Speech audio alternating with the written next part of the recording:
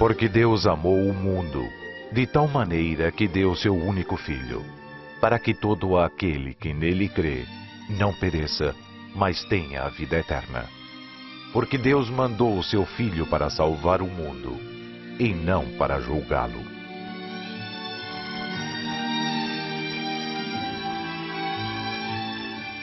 Hoje, Jesus Cristo tem mais de um bilhão de fiéis. Quatro evangelhos registram os humildes primórdios da fé cristã, ao passo que os outros evangelhos relatam alguns outros eventos ou os mesmos eventos de forma diferente.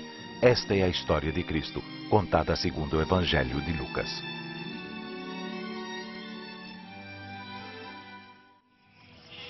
Excelentíssimo Teófilo, muitas pessoas têm se esforçado para escrever a história das coisas que aconteceram entre nós, e achei que seria bom escrever tudo isto em ordem para que conheça toda a verdade.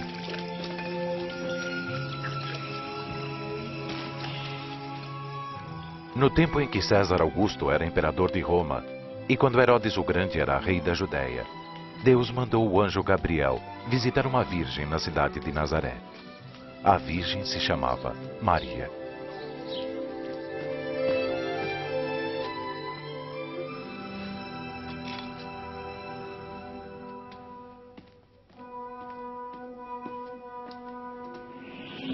Não tenha medo, Maria, porque você recebeu um grande favor de Deus. Você vai ficar grávida, dar à luz a um filho e chamá-lo de Jesus. Como pode ser? Eu sou virgem. O Espírito Santo virá sobre você, o poder de Deus estará em você. Por isso, o menino será chamado Santo e Filho de Deus. O reino dele nunca se acabará. Maria se aprontou e foi depressa para a Judéia para visitar a sua prima Isabel, que também estava esperando um filho. Isabel. Maria! Oh, prima Maria! É a mais abençoada de todas as mulheres. E a criança que vai ter também é a mais abençoada. Logo que eu vi seu cumprimento, a criança ficou alegre e se mexeu dentro de mim. Meu coração louva ao Senhor. E a minha alma está alegre por causa de Deus, meu Salvador. E de agora em diante, todos vão me chamar de mulher abençoada.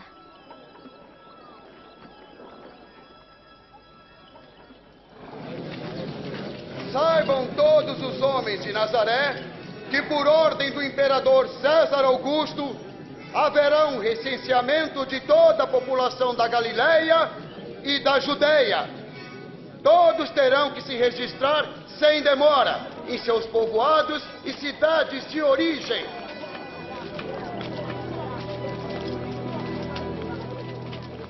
E Maria foi para Belém da Judéia para se registrar com José, seu esposo.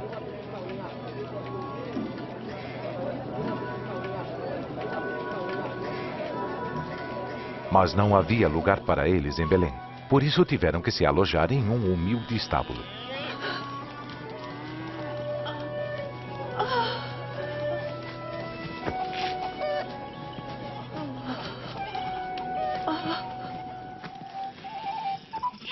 Naquela noite, alguns pastores tomavam conta dos seus rebanhos. Quando o anjo do Senhor lhes apareceu, e a gloriosa luz de Deus brilhou sobre eles.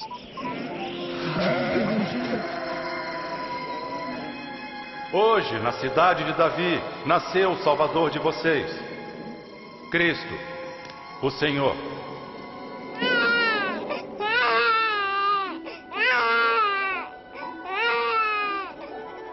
Eles foram depressa a ver o menino na manjedoura. Foram também os primeiros a espalhar as boas novas, o evangelho do nascimento do Salvador.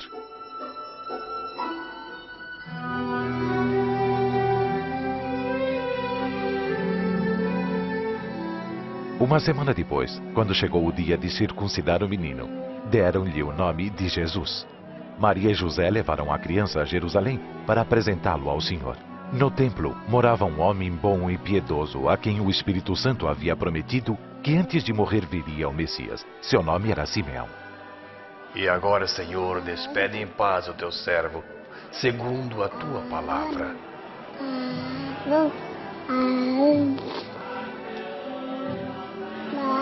Porque vi com meus próprios olhos a tua salvação.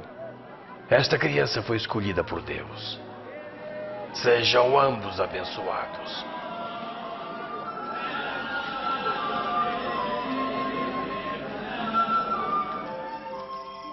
Quando terminaram de fazer tudo que a lei do Senhor mandava, José e Maria voltaram para a casa deles em Nazaré, na Galiléia. Quando Jesus tinha 12 anos, José e Maria o levaram à festa da Páscoa em Jerusalém. Na volta, seus pais pensavam que Jesus estivesse no grupo e viajaram o dia todo, mas Jesus ficou em Jerusalém. Como não o encontraram entre os parentes e amigos, voltaram à cidade para procurá-lo. E três dias depois o encontraram no templo, sentado com os mestres. Quem é este menino que faz estas perguntas? Vem de Nazaré. Pensamos que tinha partido conosco. Perdoe-nos seu entusiasmo. Todos estavam admirados com ele.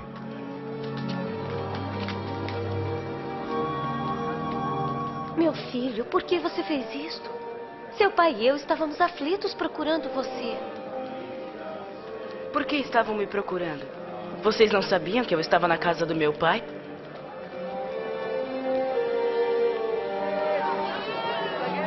Então Jesus voltou com os seus pais para Nazaré. Ele crescia tanto no corpo como em sabedoria e tinha a aprovação de Deus e dos homens.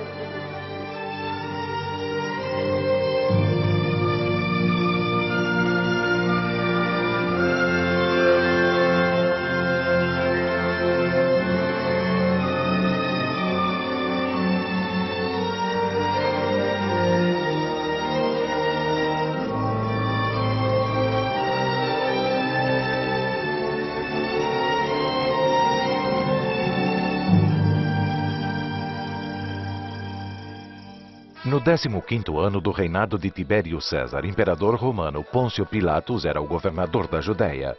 Herodes governava a Galiléia. E Anás e Caifás eram os sumos sacerdotes. A palavra de Deus veio a João no deserto, e João atravessou a região do rio Jordão, pregando o batismo de arrependimento para a remissão de pecados. Arrependam-se dos seus pecados, sejam batizados e Deus perdoará os seus pecados. Conforme está escrito no livro do profeta Isaías, alguém está gritando no deserto: preparem o caminho do Senhor. Abram estradas retas para ele. Todos os vales serão aterrados e todos os montes serão aplainados. As estradas tortas ficarão retas. Os caminhos com altos e baixos ficarão planos. E toda a humanidade verá a salvação que Deus dá. O que vamos fazer? O que devemos fazer? Raça de cobras venenosas! O que deseja que nós façamos? Ajude-nos a saber o caminho. Aquele que tiver duas túnicas deve dar uma ao homem que não tem nenhuma. Aquele que tiver comida deve repartir. Mestre, nós somos cobradores de impostos. O que devemos fazer? Não cobrem mais do que a lei manda. E nós, mestre? O que devemos fazer? Não tomem pela força o dinheiro de ninguém, nem por meio de acusações falsas. E fiquem contentes com seus salários.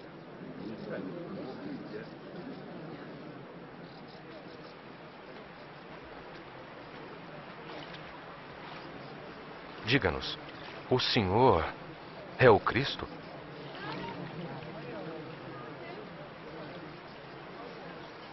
Eu batizo com água. Mas está chegando alguém que é mais importante que eu. Eu não mereço a honra de desamarrar as sandálias dele. Ele batizará com o Espírito Santo e com fogo. Com a pá que tem na mão, ele vai separar o trigo da palha.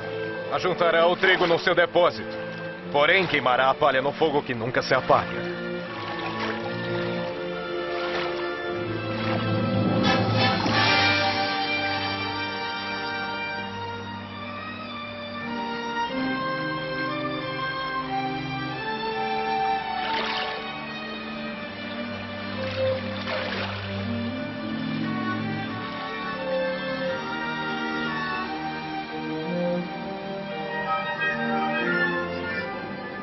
Espírito Santo desceu do céu em forma de uma pomba sobre Jesus.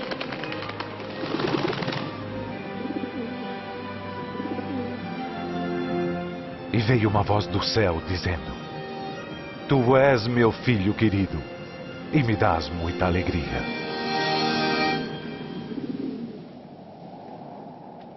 Quando Jesus começou seu ministério, tinha mais ou menos 30 anos de idade. Pleno do Espírito Santo, Jesus voltou do Rio Jordão e o Espírito de Deus o levou para o deserto, onde foi tentado pelo diabo durante 40 dias. Não comeu nada neste tempo todo.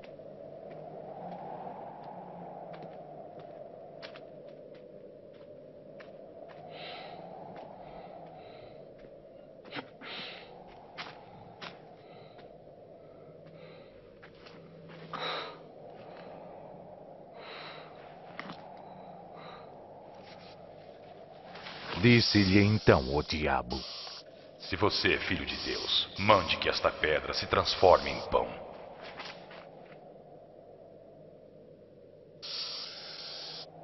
Está escrito: Não só de pão viverá o homem, mas de toda a palavra de Deus.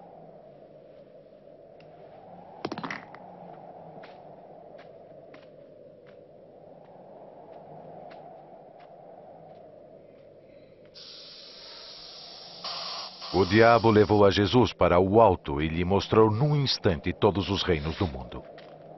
Eu lhe darei todo este poder e toda esta riqueza. Tudo isto me foi dado e eu posso dar a quem quiser.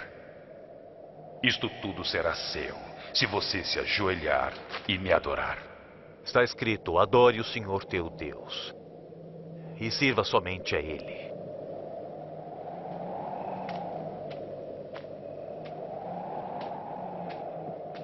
O diabo o levou a Jerusalém e o pôs na parte mais alta do templo. Se você é filho de Deus, atire-se lá embaixo, porque a Bíblia Sagrada afirma: Deus mandará seus anjos para cuidarem de você e vão segurá-lo com suas mãos para que nem os pés você machuque nas pedras. A Bíblia Sagrada diz: Não ponha à prova o Senhor teu Deus.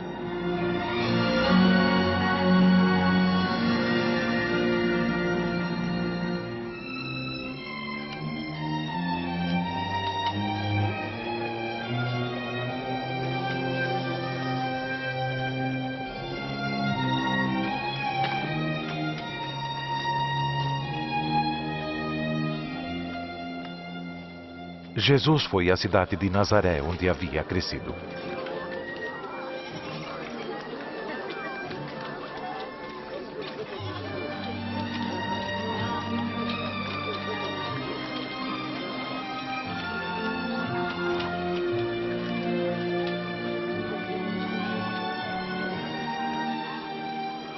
Olá.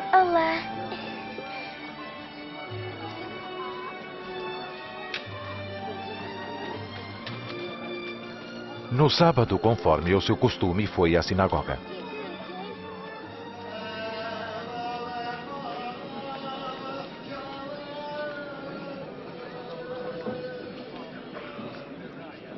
Foi chamado para ler um trecho do profeta Isaías.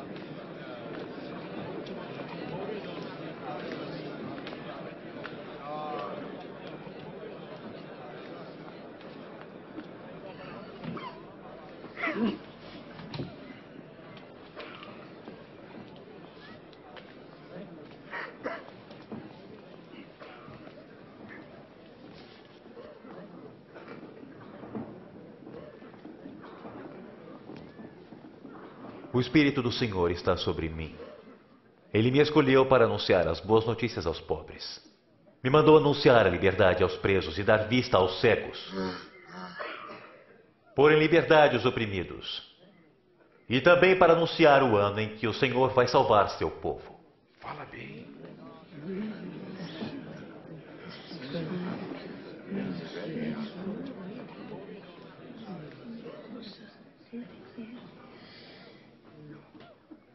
Hoje se cumpriram as escrituras sagradas que acabaram de ouvir. A Bíblia se cumpriu? Mas só o Messias pode cumprir esta promessa. Mas como?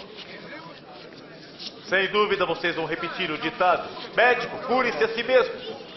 E também vão dizer: faça aqui na sua própria cidade as mesmas coisas que fez em Cafarnaum.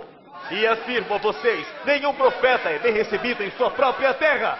Com estas palavras, Jesus se identificou como o Messias, o escolhido de Deus para salvar o seu povo. Mas estes judeus não o aceitaram como o Messias. Eles o arrastaram até o alto do monte para atirá-lo de lá. Mas ele passou pelo meio da multidão e foi embora.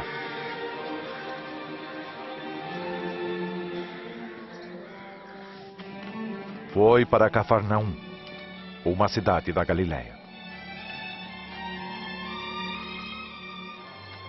O domínio romano era evidente em toda a nação e o povo ansiava pela chegada do Messias para libertá-lo da tirania.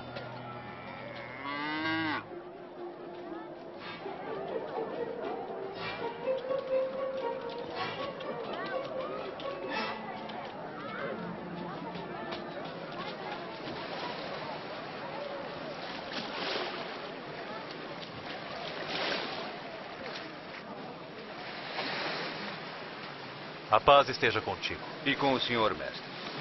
Seu barco pode me levar, Simão? Claro, mestre. Diga-nos alguma coisa. Fale, mestre, fale.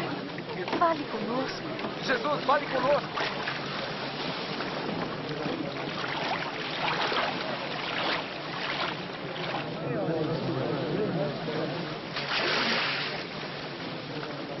Certa vez, dois homens foram orar no templo. Um era fariseu e o outro cobrador de impostos. O fariseu ficou de pé e orou sozinho, assim: Ó oh Deus, eu te agradeço porque não sou avarento, desonesto e nem imoral como os outros homens. Também te agradeço porque não sou como este cobrador de impostos. Jejuo duas vezes por semana e te dou a décima parte do que ganho. Mas o cobrador de impostos ficou de longe e nem levantava o rosto para o céu. Batia no próprio peito e dizia: Senhor, tem piedade de mim, sou um pecador. Afirmo a vocês: foi este homem e não o outro que voltou para casa de bem com Deus. Porque aquele que se engrandece será humilhado, e aquele que se humilha será engrandecido. Leve o barco para onde o lago é mais fundo. E você e seus companheiros joguem as redes para pescar. Ah, mestre, trabalhamos muito durante a noite toda e não conseguimos pescar nada. Mas já que o senhor está mandando, eu vou jogar as redes. Tiago! João!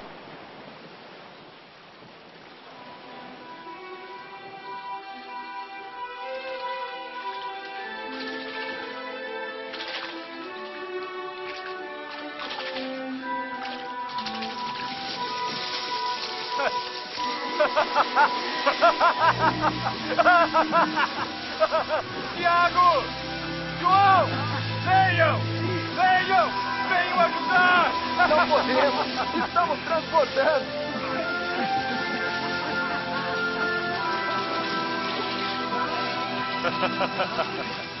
Já chega, é o bastante. É o bastante.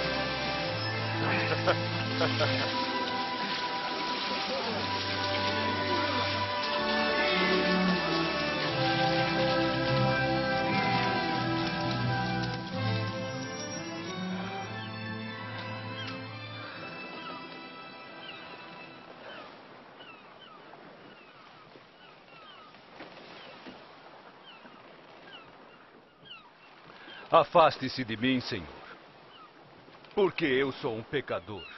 Não tenha medo. De agora em diante será um pescador de homens.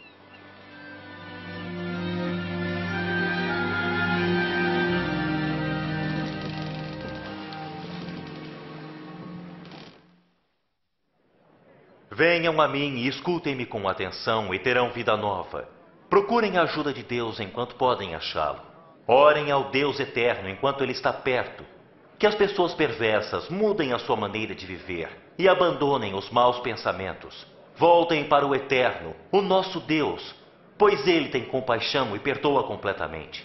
Vocês sairão alegres e serão guiados em paz. Rápido, está aqui, vejam. Jesus! Jesus! Por favor, peço que salve minha filha única. Senhor, tenha piedade, ela só tem 12 anos e está morrendo. Por favor, por favor, venha comigo. Jairo, eu sinto muito. Jesus! Sua filha morreu. Não incomode mais o mestre. Não tenha medo. Somente creia e ela ficará boa.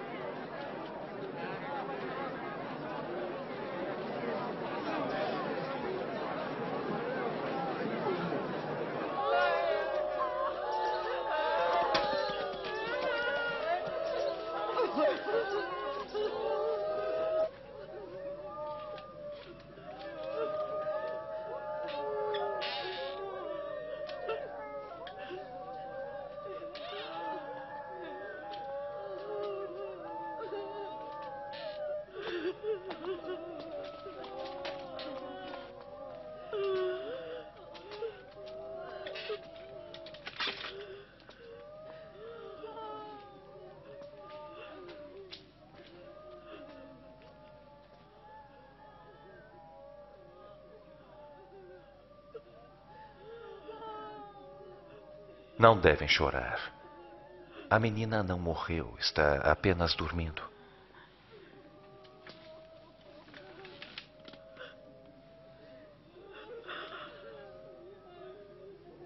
Menina, levante-se.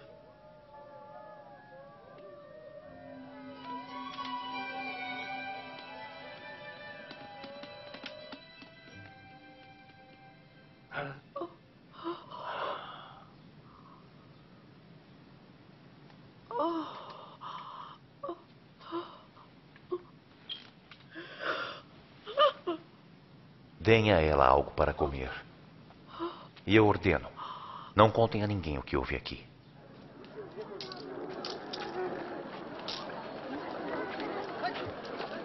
E depois disto, Jesus viu um cobrador chamado Levi sentado no lugar onde se pagavam impostos.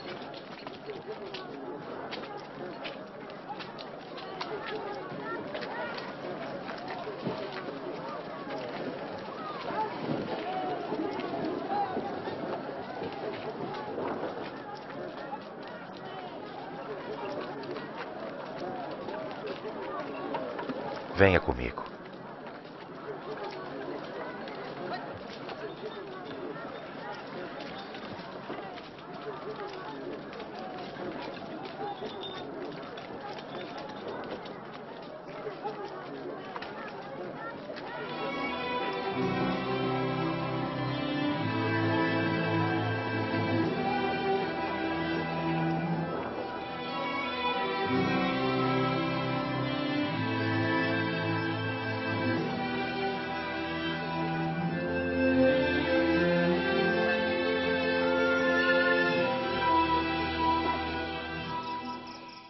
Jesus subiu a um monte para orar e passou a noite orando a Deus.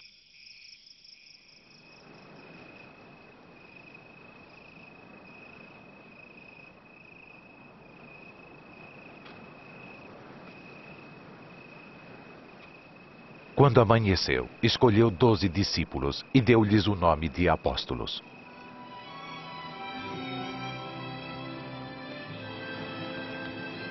Simão, em quem pôs o nome de Pedro. Seu irmão André. Tiago.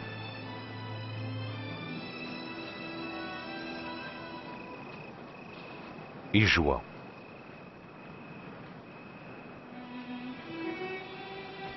Felipe.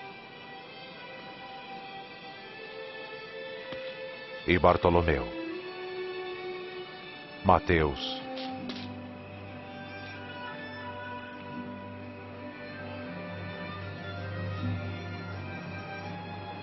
e Tomé. Tiago, filho de Alfeu. Simão, chamado nacionalista. Judas, irmão de Tiago. E Judas Iscariotes, que foi o traidor.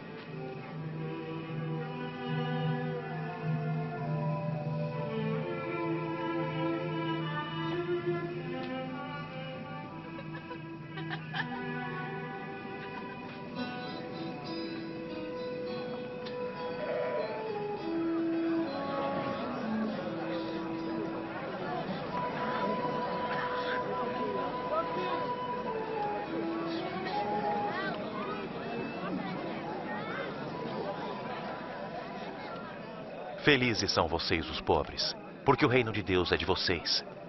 Felizes são vocês que agora têm fome, porque terão fartura. Felizes são vocês que agora choram, porque vão sorrir. Felizes são vocês quando os odiarem e rejeitarem, insultarem e disserem que são maus por serem seguidores do Filho do Homem. Fiquem felizes e muito alegres quando isto acontecer, porque a grande recompensa os espera nos céus. Os antepassados destas pessoas fizeram isto mesmo aos profetas.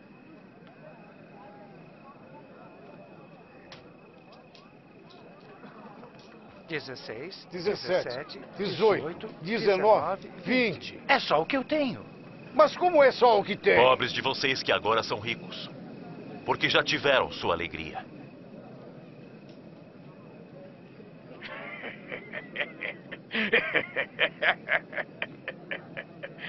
Ele não quer ser rico, deve estar louco. Ai de vocês que agora estão rindo, porque vão chorar e lamentar. Ai de vocês quando todos os elogiarem, porque os antepassados deles também elogiaram os falsos profetas. Mas digo a vocês que me ouvem: amem os seus inimigos. Façam o bem a quem os odeia. Abençoem os que os amaldiçoam. E orem em favor de quem os maltrata.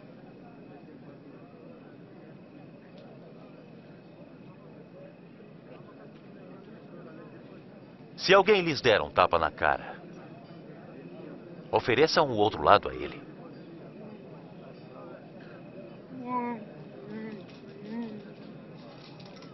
Se alguém tomar sua capa, deixe que leve a túnica também. Deem alguma coisa a quem lhes pedir. E quando alguém tirar o que é seu, não peça que lhes devolva. Façam pelos outros o mesmo que querem que façam por vocês.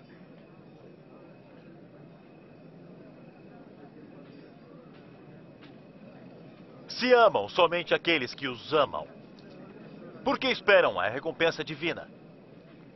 Até as pessoas de má fama o fazem. E se fazem o bem somente àqueles que lhes fazem o bem, por que esperam a recompensa divina? Até as pessoas de má fama fazem assim. Mas como ele pôde tocá-la? Como ele pôde falar com ela? Que nojento.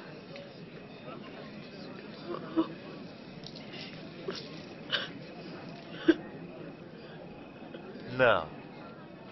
Amem os seus inimigos. Façam o bem a eles. Emprestem e não esperem receber de volta. E terão uma grande recompensa divina. Assim serão os filhos do Altíssimo Deus. Façam isto porque Ele é bom para os ingratos e maus. Sejam misericordiosos, assim como o Pai também o é.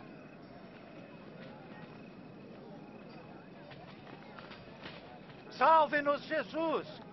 Não julguem e Deus não julgará vocês. Não condenem e Deus não condenará vocês. Perdoem e Deus perdoará vocês. Guie-nos em teus caminhos, Senhor.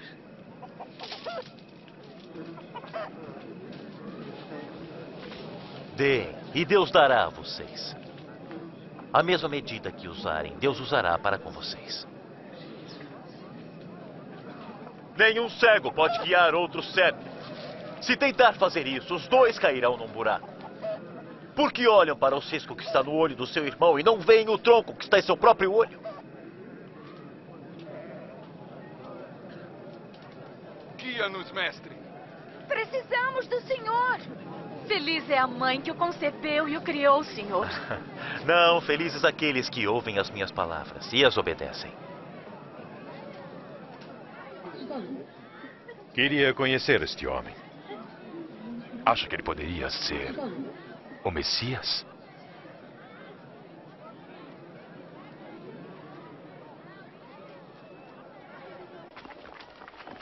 Este fariseu convidou Jesus para jantar. Jesus foi à casa dele e sentou-se para comer. Andem, crianças, vão lá para fora. Eu já falei, saiam. Saiam. Elas fazem todas as travessuras que podem. O que ela faz aqui? Não sei.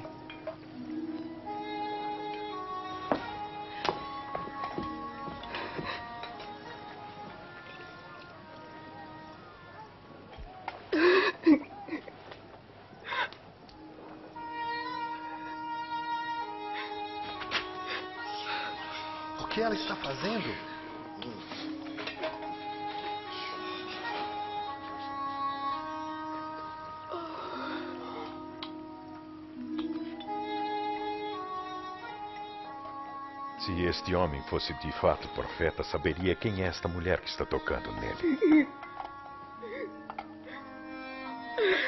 Saberia da vida de pecados que ela leva. Eu sei quem é esta mulher, Simão. Vou lhes contar uma coisa. Dois homens deviam a outro que emprestava dinheiro. Um devia 500 moedas e o outro 50. Nenhum podia pagar, então ele lhes perdoou a dívida. Qual deles vai amá-lo mais? Eu suponho que é aquele que devia mais. Você está certo. Vê esta mulher? Eu entrei em sua casa e você não me ofereceu água para meus pés. Ela, porém, os lavou com lágrimas e os enxugou com os cabelos. Você não me beijou quando cheguei. Ela, porém, não para de beijar meus pés. Você não deu azeite para minha cabeça. Ela, porém, derramou perfume nos meus pés. Eu lhes digo: seu grande amor prova que seus muitos pecados já foram perdoados. Mas a quem pouco se perdoa, pouco amor demonstra.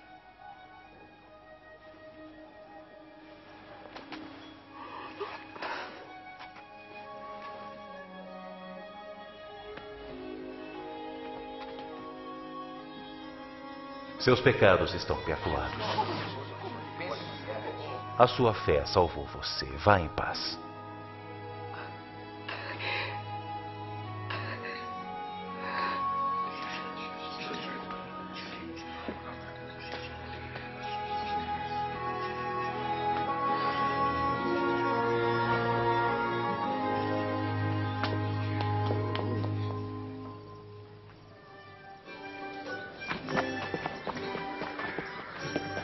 Jesus viajou anunciando as boas notícias do reino de Deus. Os doze discípulos foram com ele, e também algumas mulheres que haviam sido curadas de espíritos maus e doenças. Maria, chamada Madalena, Joana, mulher de Cusa, que era funcionária do governo de Herodes, e Susana.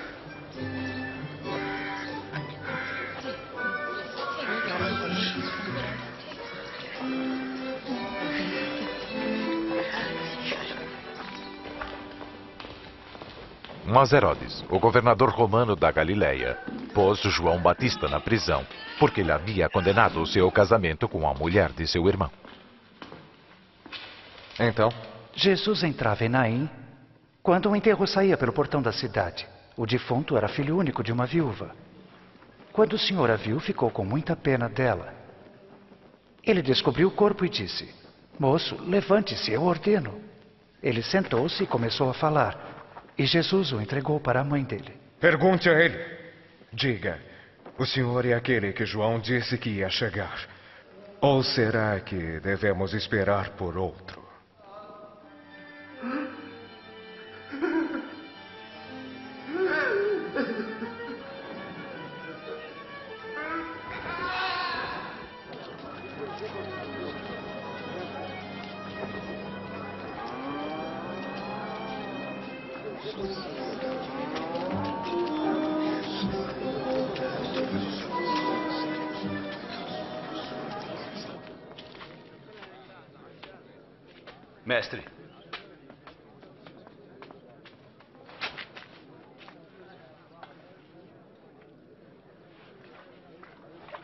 Mestre.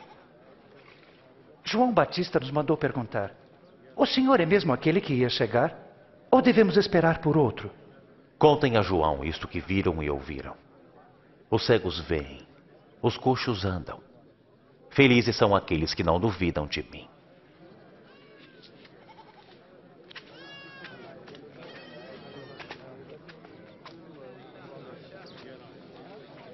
Por favor, me levante. Sente-se em meu ombro. Está vendo agora? Eu estou vendo, Jesus. Um certo homem saiu para semear. Algumas sementes caíram à beira do caminho, onde foram pisadas pelas pessoas. E foram comidas pelos passarinhos. Outras caíram no meio de pedras. E quando começaram a brotar, secaram porque não havia umidade. Outra parte caiu no meio dos espinhos. E cresceram junto com as plantas. E as abafaram. Mas algumas caíram em terra boa. As plantas cresceram e produziram novamente. Cem grãos para cada semente. Mestre, por que o senhor usa parábolas quando fala para as multidões? A vocês Deus mostra o segredo do seu reino, mas aos outros, tudo é ensinado por meio de comparações, para que olhem e não enxerguem, escutem e não entendam.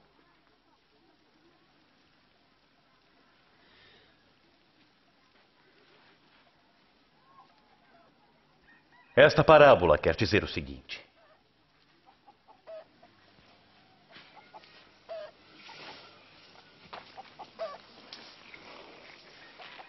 A semente é a mensagem de Deus. As que caíram à beira do caminho são os que ouvem. Mas o diabo chega e tira a mensagem do coração deles, para que não creiam e não sejam salvos. As sementes que caíram nas pedras são aqueles que ouvem a mensagem e recebem com muita alegria, mas não têm profundidade. Creem somente por algum tempo. E quando chega a tentação, abandonam tudo. As sementes que caíram entre os espinhos são as pessoas que ouvem. Mas as preocupações, as riquezas e os prazeres desta vida aumentam e a sufocam. Seus frutos nunca amadurecem. E as sementes que caíram em terra boa são as pessoas que ouvem e guardam a mensagem no seu coração bom e obediente. E seguem fiéis até produzirem frutos.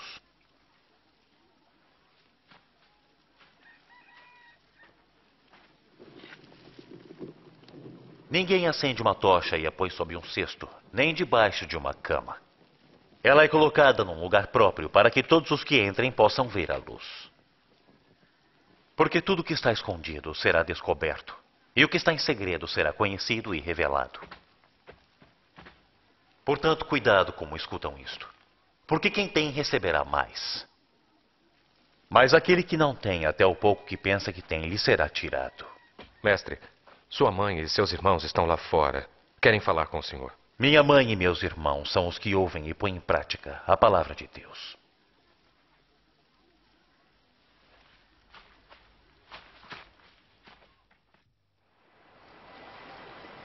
Certo dia, Jesus entrou com seus discípulos num barco e disse: Vamos para o outro lado do lago.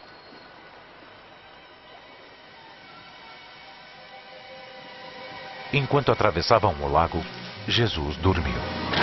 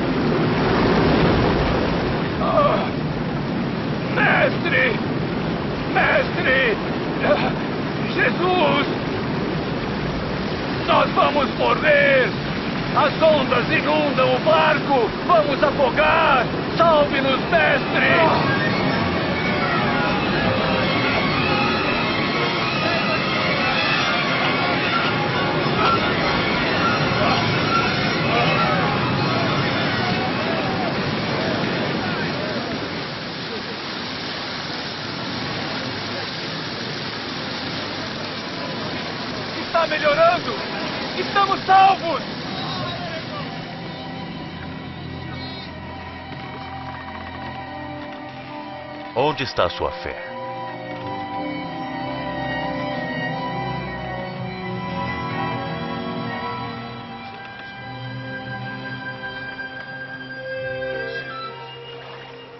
E eles chegaram à região de Gerasa, do outro lado do lago da Galileia.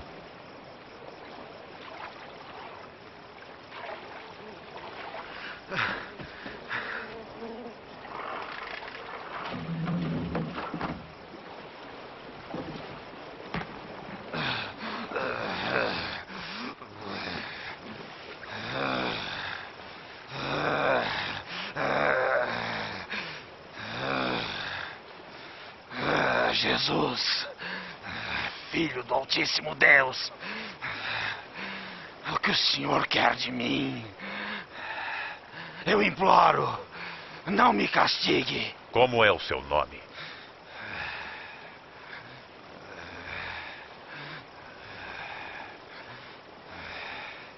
Multidão, eu imploro, não nos mande para o inferno. Mande-nos entrar nos porcos que estão ali. Ah, ah, ah,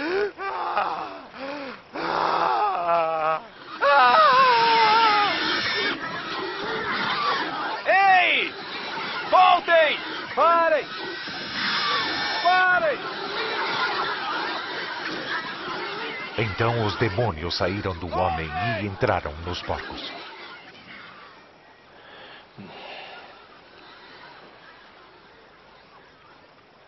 Vai embora daqui! Seu feiticeiro! Deixe-nos! Vai embora desse lugar! Saia daqui! Vai embora, feiticeiro! Eu seguirei para onde for. Deixe que eu o acompanhe, Senhor. Volte para casa. E conte o que Deus fez por você.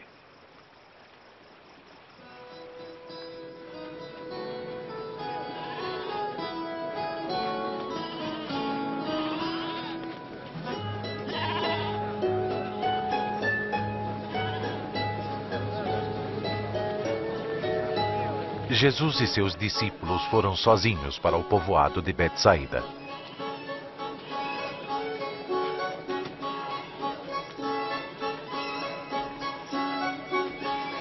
Mas a multidão soube disso e o seguiu.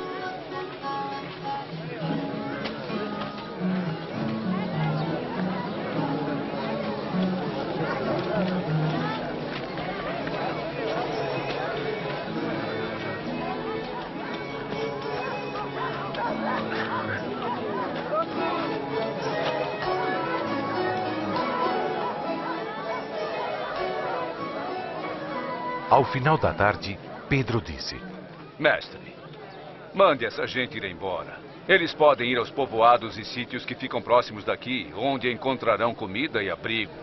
Este lugar é deserto.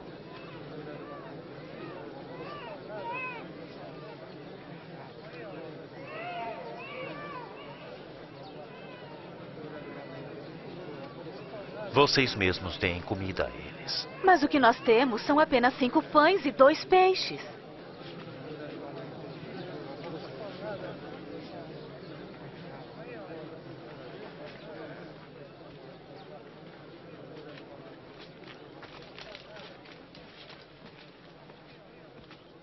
Bendito sejas tu, ó Senhor Deus, Rei do universo, que faz a terra produzir o pão.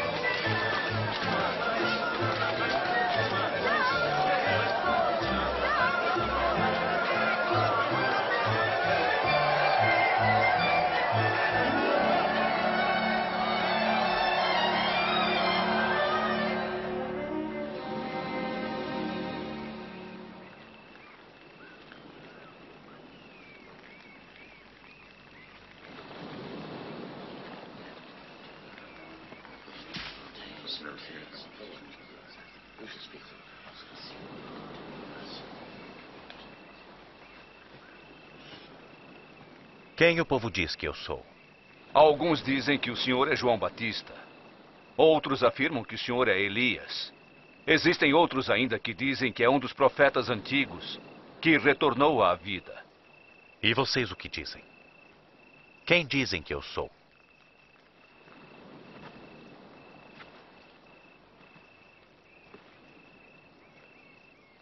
O Messias que Deus nos enviou. Vocês não devem contar a ninguém. O filho do homem terá de sofrer muito, ser rejeitado e ser morto também. Mas três dias depois ele ressuscitará.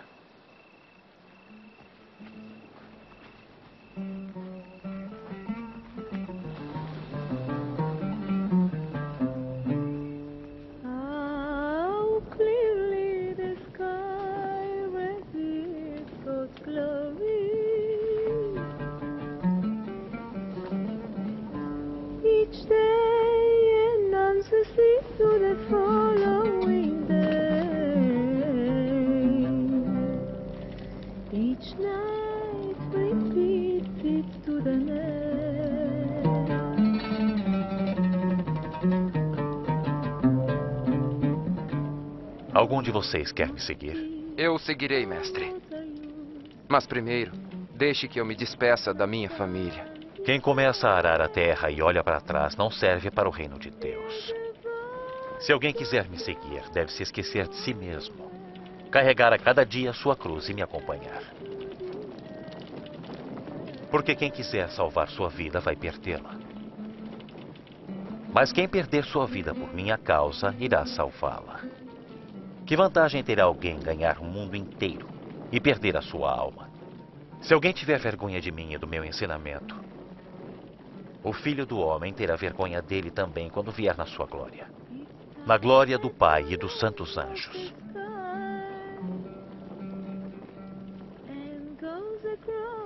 Lembrem-se disto. Afirmo que alguns aqui não morrerão antes de ver o reino de Deus.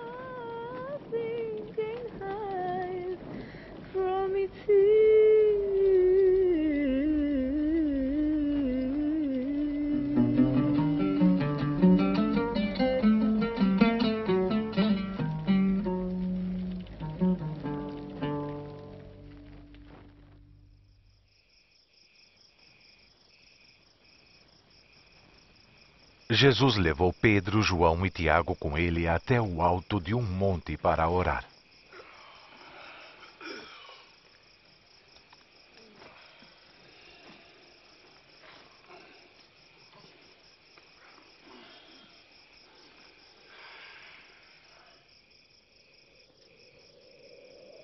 Enquanto estava orando, o seu rosto mudou de aparência e a sua roupa ficou muito branca e brilhante. De repente, dois homens apareceram e começaram a falar com ele. Eram Moisés e Elias, cercados de uma glória celestial. O propósito de Deus se cumprirá por seu intermédio. Você morrerá em Jerusalém.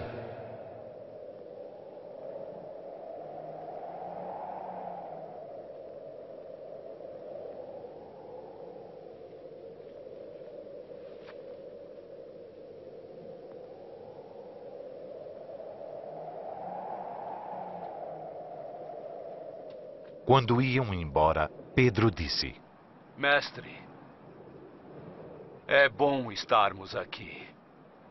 Vamos armar três barracas: uma para o senhor, Enquanto Pedro falava, Moisés, uma nuvem desceu e os uma cobriu. E os discípulos ficaram com medo. Uma voz que vinha da nuvem disse: Este é o meu filho, o meu escolhido. Escutem o que ele diz.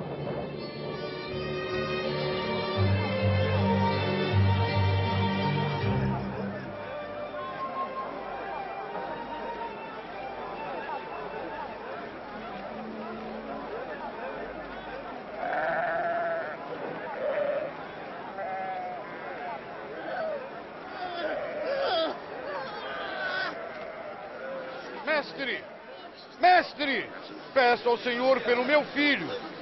Por favor, por favor, socorra o meu filho. Ele é o meu único filho. Pedi a seus discípulos que expulsassem o espírito mau, mas não conseguiram. Ah, mas que gente incrédula e má. Até quando ficarei com vocês e terei que aguentá-los? Traga seu filho aqui.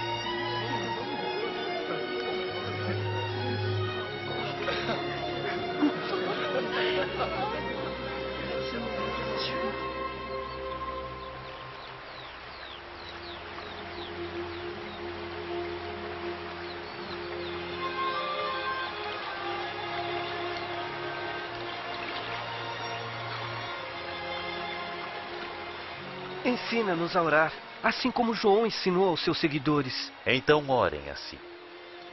Pai nosso que estás no céu, santificado seja teu nome. Venha a nós o teu reino.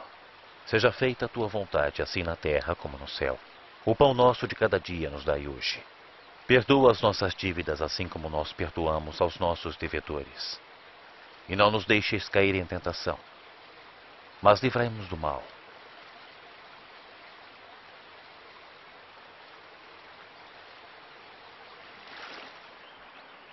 Peçam e receberão. Procurem e acharão. Batam e a porta se abrirá. Porque todos os que pedem recebem. Aqueles que procuram acham. E a porta sempre se abre para quem bate.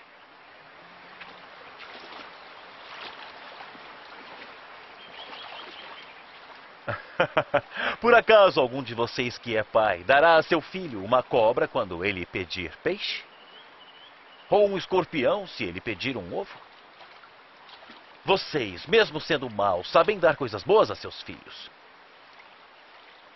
Quanto mais o Pai que está nos céus, ele dará o Espírito Santo àqueles que pedirem. Digo a vocês: não se preocupem com a comida que precisam para viver nem com a roupa que precisam vestir.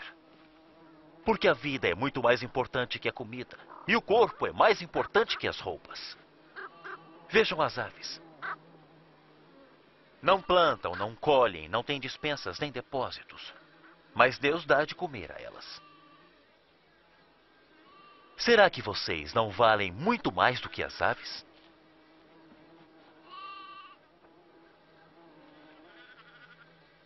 Qual de vocês, por mais que queira, pode viver alguns anos a mais? Se não conseguem uma coisa tão pequena, por que se preocupam com as outras? Vejam como crescem as flores no campo. Elas não trabalham nem fazem roupas. Mas nem o rei Salomão, sendo tão rico, se vestia como uma destas flores. É Deus quem veste a erva do campo, que amanhã desaparece queimada no forno. Então é claro que ele também vestirá vocês. Vocês que têm a fé tão pequena. Senhor, aumenta a nossa fé. Se sua fé fosse do tamanho de um grão de mostarda, poderiam dizer a esta figueira que está ali: arranque-se pelas raízes e vá se plantar no mar, e ela obedeceria.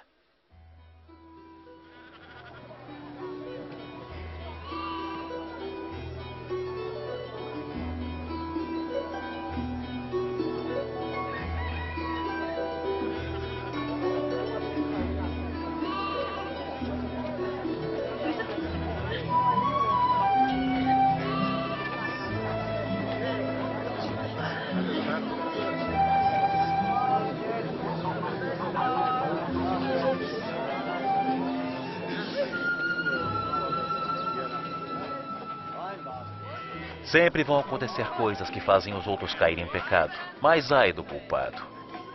Seria melhor para ele ser jogado no mar com uma grande pedra de moinho amarrada no pescoço, do que fazer um destes pequeninos pecar. Com o que se parece o reino de Deus? Com o seguinte: um homem pegou uma semente de mostarda, plantou em seu sítio. A planta cresceu e virou uma árvore. E os passarinhos fizeram ninhos nos seus ramos. Eu não entendo o que está dizendo. Porque o senhor come e bebe na companhia de cobradores de impostos e marginais. Quem está bom não precisa de médico. Só quem está doente precisa. Eu não vim chamar os justos ao arrependimento. Só os pecadores.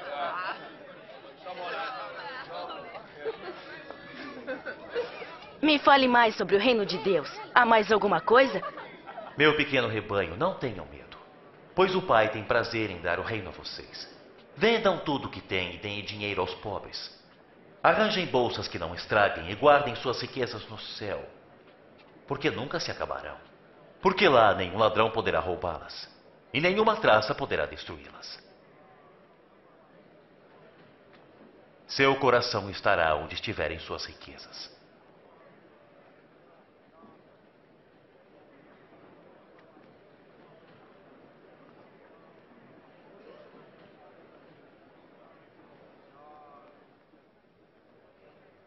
Mulher, você está curada.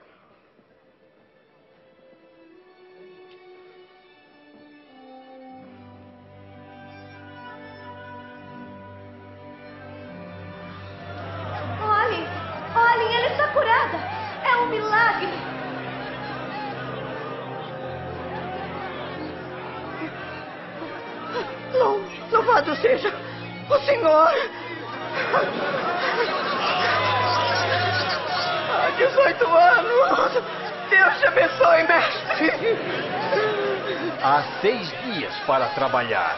Venham durante estes dias para serem curados, mas não venham no sábado. Seus hipócritas! Qualquer um de vocês tira seu boi ou seu burro da estrebaria e o leva para beber água no sábado. E agora aqui está uma descendente de Abraão que Satanás prendeu durante 18 anos. Por que não ficar livre da doença no sábado?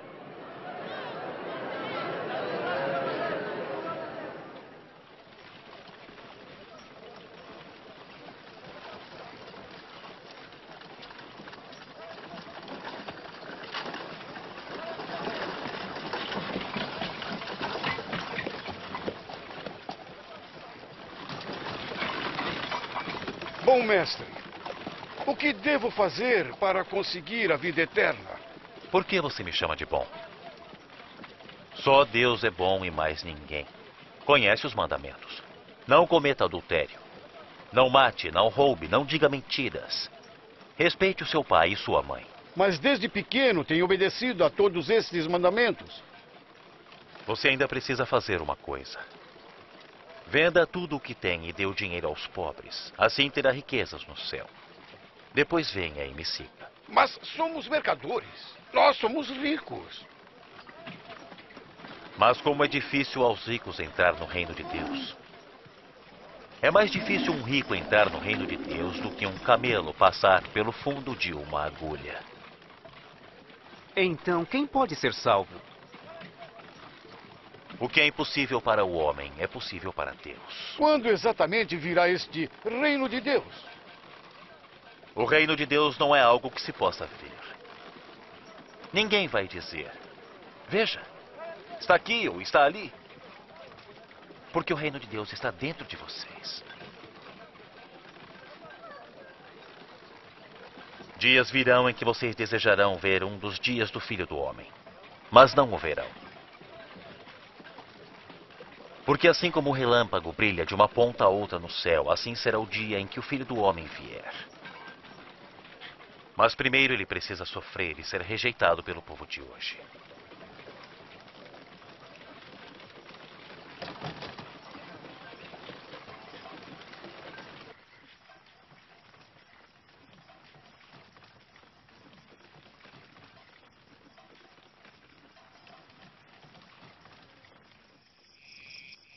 É mais fácil o céu e a terra desaparecerem do que ser tirado um simples acento de qualquer palavra da lei. Muitos profetas e reis gostariam de ter visto o que vocês estão vendo, mas não puderam. E gostariam de ter ouvido o que vocês estão ouvindo, mas não ouviram. O que faremos? O que diz a Bíblia? Como vocês a interpretam? Ame a seu Deus com todo o seu coração, com toda a alma, com todas as forças e toda a inteligência. E ame o seu próximo como a si mesmo. Você está certo. Faça isto e viverá. Mas quem é o meu próximo? Não são aqueles soldados. Será César? Um homem vinha descendo de Jerusalém para Jericó. Alguns ladrões o assaltaram. Tiraram sua roupa, bateram nele e o deixaram quase morto. Por acaso, um sacerdote estava passando por aquele caminho. Quando viu o homem, passou pelo outro lado da estrada. Também um levita passou por ali. Olhou e também foi embora para o outro lado da estrada. Mas o samaritano estava viajando por aquele caminho. Quando viu o homem, ficou com muita pena. Chegou perto e tratou de suas feridas.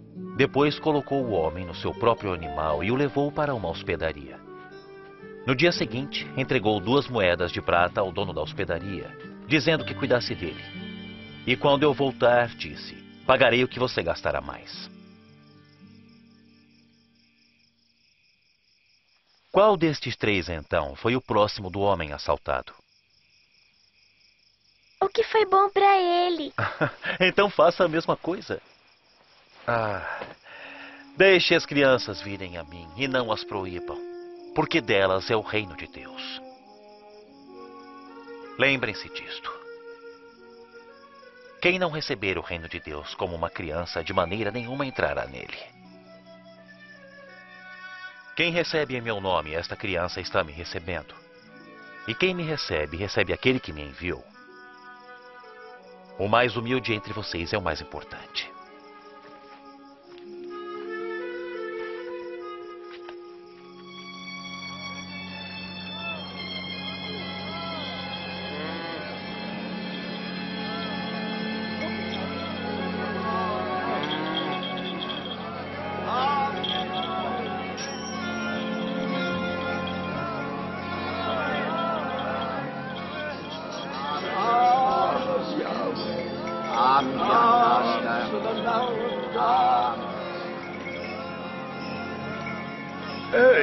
Acontecendo? Me diz. É Jesus de Nazaré. Ele está passando por aqui.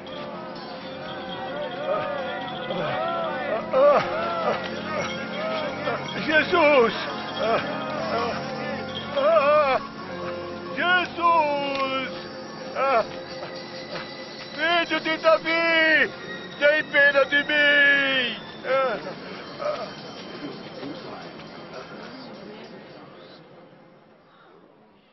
Que você quer que eu faça? Senhor, quero ver de novo.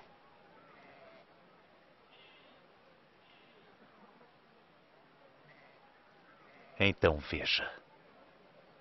A tua fé te curou. Eu estou vendo. Eu vejo. Eu posso ver.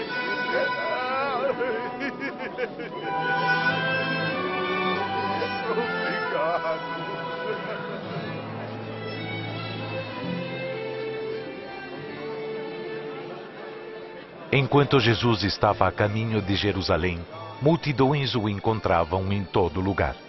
Pediam para que mostrasse o caminho da salvação e para ensinar mais sobre o reino de Deus.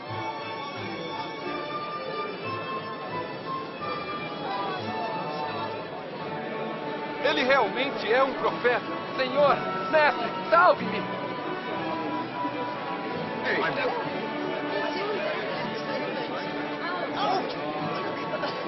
Eu quero ser salva! Louvem ao Senhor! Mostre-nos o caminho, Senhor. O povo estava começando a aceitá-lo como senhor e mestre. Em Jericó, havia um cobrador de impostos chamado Zaqueu. Ele queria tanto ver Jesus que subiu numa árvore por causa da multidão. Olha só o cobrador de impostos. Desça depressa, Zaqueu. Porque hoje preciso ficar em sua casa. Em minha casa? Por que vai ficar na casa dele? Como Zaqueu conhece Jesus?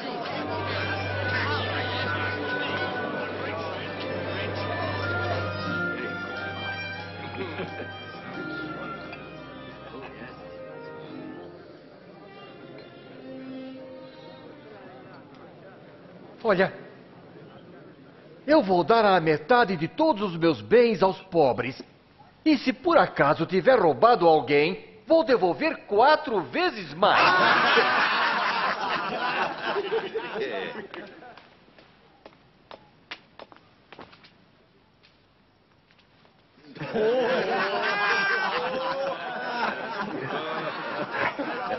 Oh.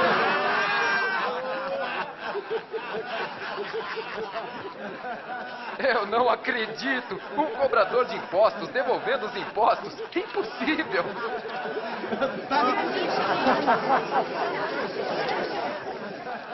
Hoje a salvação entrou nesta casa, pois este homem também é descendente de Abraão. O filho do homem veio buscar e salvar quem está perdido.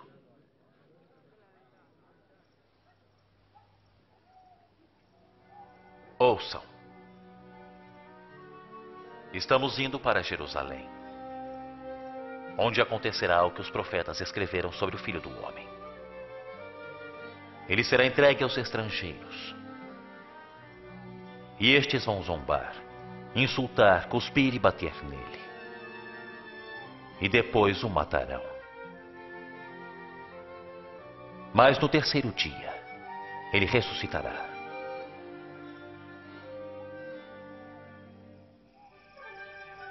Mesmo sabendo que seria morto pelos pecados da humanidade, Jesus tomou o caminho de Jerusalém. O povo se alegrou com a sua vinda e o aclamou como rei.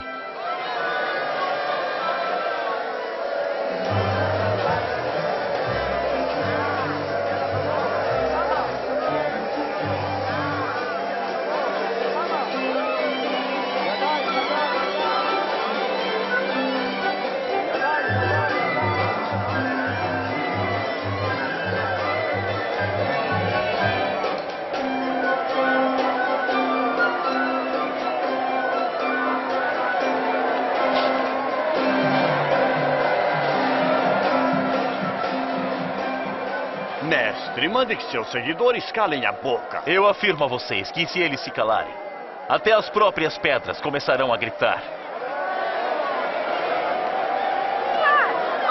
Salve nosso rei!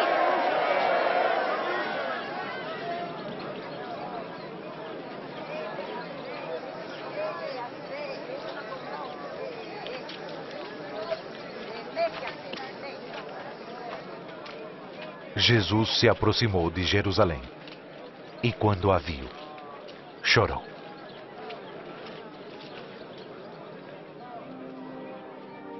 Ah, Jerusalém. Hoje você não consegue ver o que é preciso para alcançar a paz. Chegarão os dias em que os inimigos te cercarão com trincheiras e te apertarão de todos os lados. Destruirão você completamente. E aos seus filhos. Não ficará pedra sobre pedra, porque você não reconheceu quando Deus veio para salvá-la.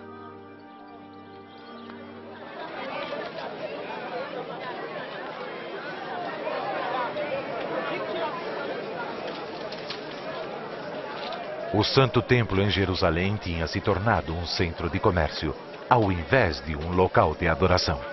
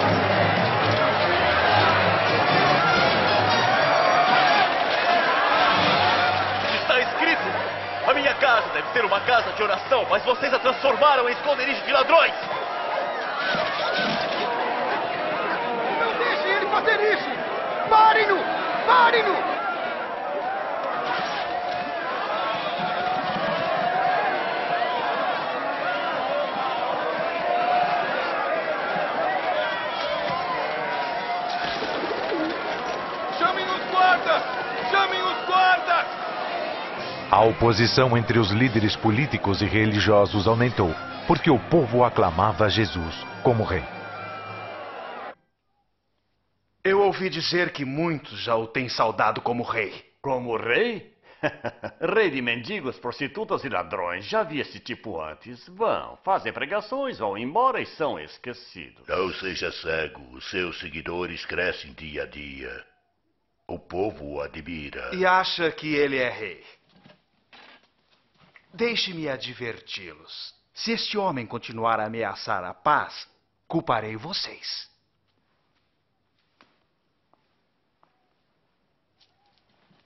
Acho que ele tem razão. É hora de enfrentarmos o Galileu. As facções hipócritas dos escribas e fariseus cada vez mais sofriam os ataques de Jesus. Enquanto o número de seus seguidores aumentava, aumentava também a oposição daqueles a quem ele condenava. No templo, Jesus viu uma viúva pobre dando duas moedas de cobre. É muito pouco.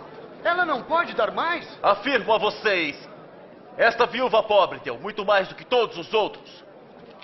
Porque os outros deram do que estava sobrando das suas riquezas. Ela, porém, pobre como é, deu tudo quanto tinha para viver. Diga-nos, com que autoridade você faz estas coisas? Quem te deu esta autoridade? Eu também farei uma pergunta. Diga-me quem deu autoridade para João batizar, Deus ou os homens?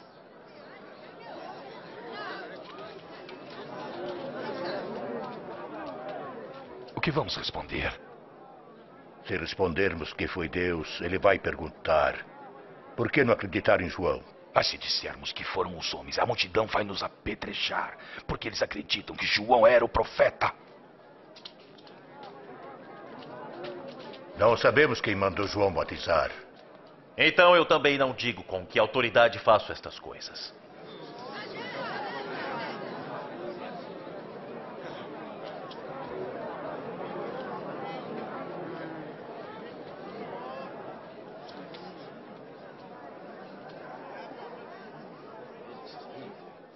Certo homem plantou uvas em suas terras e as arrendou aos lavradores. Depois foi embora por muito tempo. Quando chegou a época da colheita, mandou um empregado aos lavradores para receber a sua parte na colheita. Mas os lavradores bateram nele e o mandaram de volta sem nada. Então ele mandou outro empregado. Mas também bateram nele. E o trataram de modo vergonhoso e o mandaram embora sem nada. Ele enviou um terceiro empregado. Mas os lavradores também o machucaram e os pulsaram. Aí o dono da plantação pensou: O que vou fazer? Vou mandar meu filho querido. Sei que eles vão respeitá-lo. Mas quando os lavradores viram o filho, disseram: Este é o filho do dono. Vamos matá-lo e a plantação será nossa. Diga mais, senhor. Jogaram o filho fora da plantação e o mataram. O que é que o dono da plantação vai fazer com os lavradores? Ele virá, matará aqueles homens e dará a plantação a outros. O que significa isso então? Que a pedra que os construtores rejeitaram, dizendo que era inútil, veio a ser de fato a mais importante de todas. Quem cair em cima desta pedra ficará em pedaços. E se a pedra cair sobre uma pessoa, ela ficará reduzida a pó. Mestre, sabemos que aquilo que o senhor fala e ensina é certo. Sabemos também que não julga os outros pela aparência, mas ensina a verdade sobre a vontade de Deus para o homem. Diga-nos, não é contra a nossa lei sermos obrigados a pagar impostos ao imperador romano? Cuidado, senhor! Pode ser uma armadilha! Deem-me uma moeda.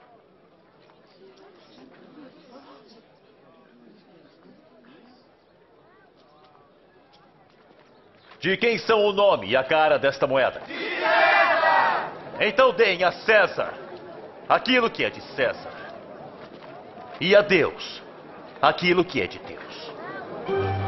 Como vai responder a isso? Chegou o dia da festa dos pães asmos, quando os judeus matavam cordeiros para comemorar a Páscoa.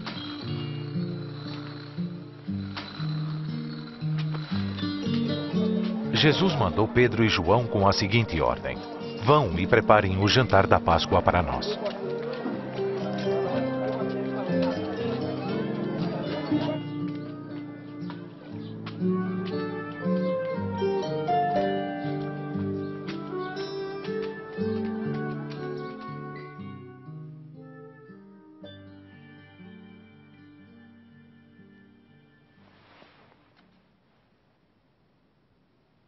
Desejado comer o jantar da Páscoa com vocês antes do meu sofrimento.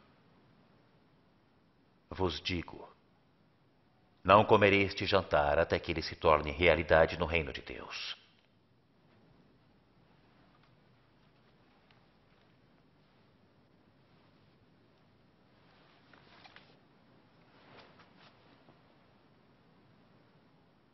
Bendito sejas tu, ó Senhor Deus, Rei do universo, que criou o fruto da vinha.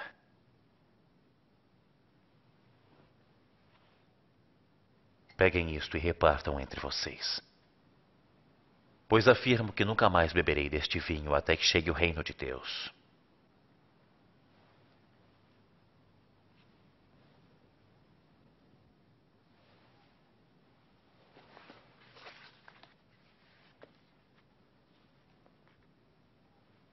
Bendito sejas tu, ó Senhor Deus, Rei do universo, que faz a terra produzir o pão.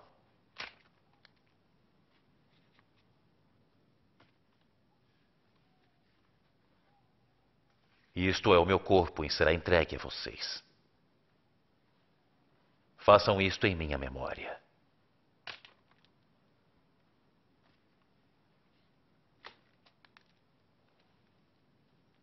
Este é o cálice da nova aliança no meu sangue, derramado por vocês.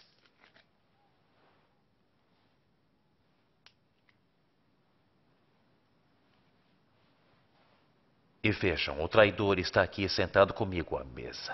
Porque o filho do homem vai morrer, como Deus já resolveu. Mas ai daquele que está traindo o filho do homem. Não acredito.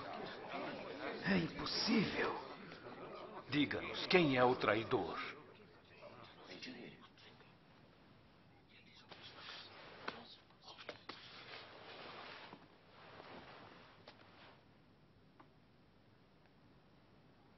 O mais importante deve ser o menos importante.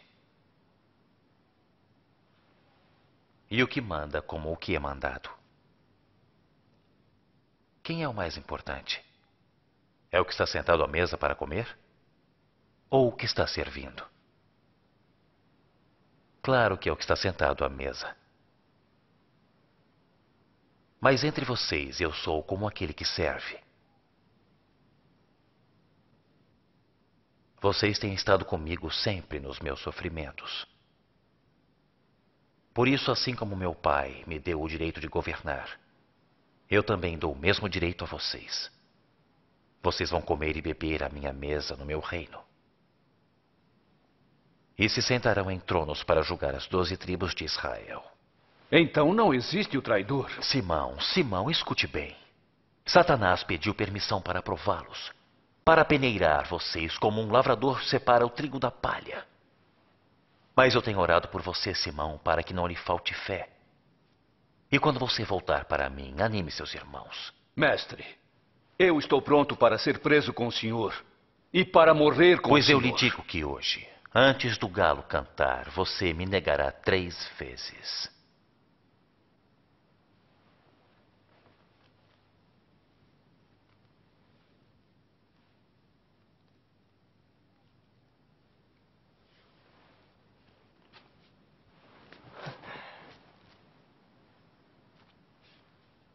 Quando os mandei ir sem bolsa, sacola ou sandália, faltou alguma coisa?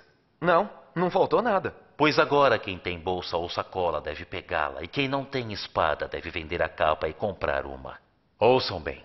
A Bíblia Sagrada diz: Ele foi contado com os criminosos. O que está escrito a meu respeito tem que acontecer.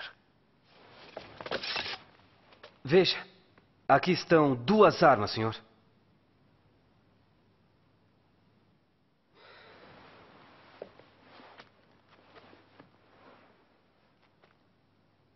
É o bastante. O conselho de anciões reuniu-se para ver como poderiam se livrar de Jesus. Satanás entrou em Judas Iscariotes, que era um dos doze discípulos de Jesus. Ele combinou com os anciões a maneira de entregar Jesus. Jesus saiu de Jerusalém e foi para o Monte das Oliveiras para orar.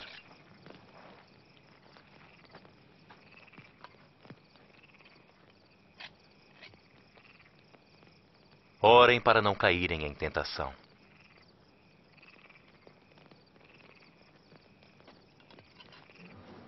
Judas Iscariotes traiu Jesus por apenas 30 moedas de prata. Jesus sabia que a hora da sua morte pelos pecados da humanidade se aproximava. E ele orou.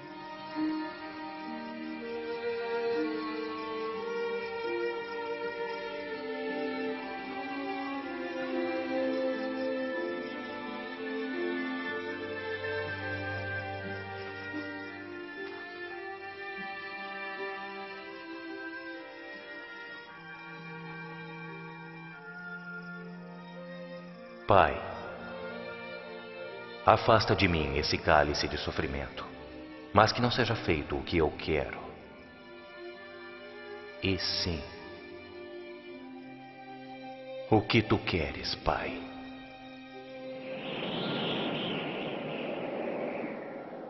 Um anjo do céu apareceu para animá-lo.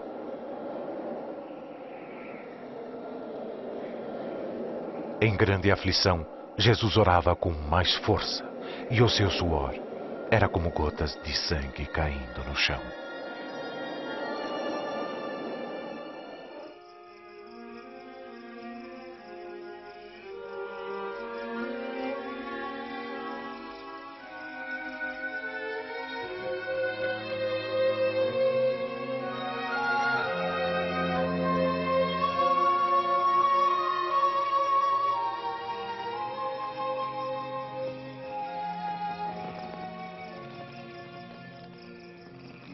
Por que estão dormindo?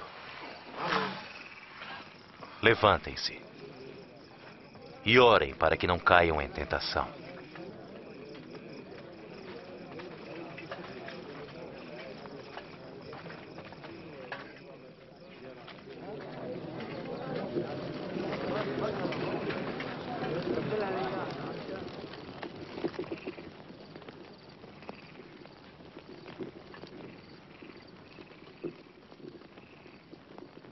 Judas.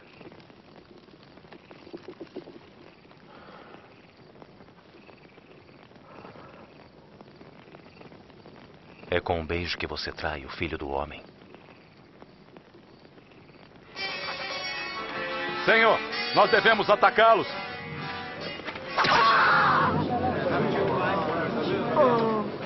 Podem prendê-lo. Parem com isto.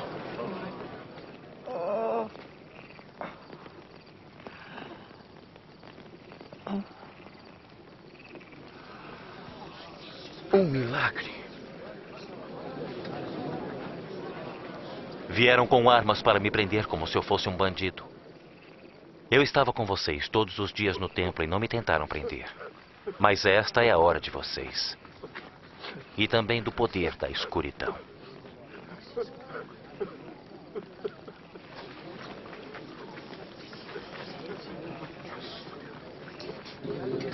Prendam.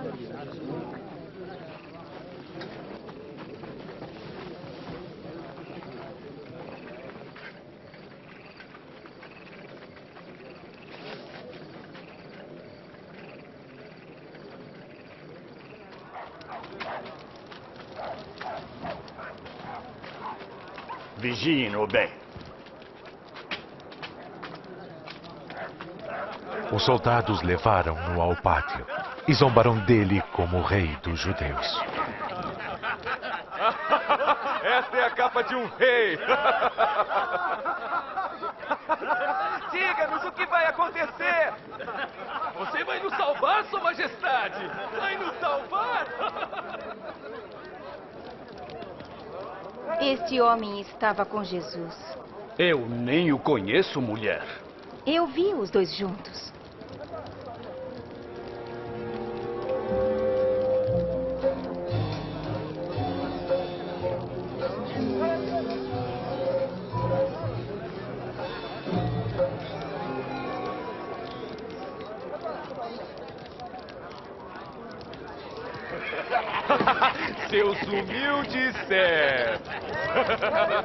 Tal olhar alguém de baixo pra cima, hein?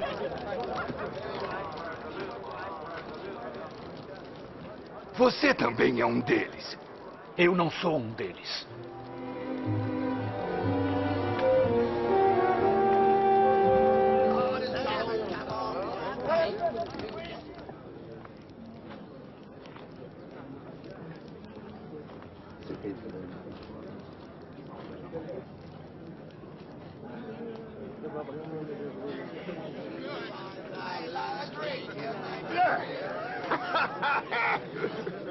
Não há dúvidas de que estava com Jesus. Porque também é galileu. Ah, vá embora. Eu não sei do que você está falando.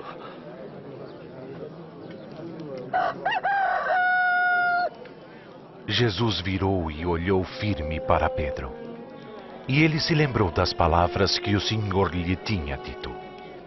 Hoje, antes que o galo cante, você me negará três vezes.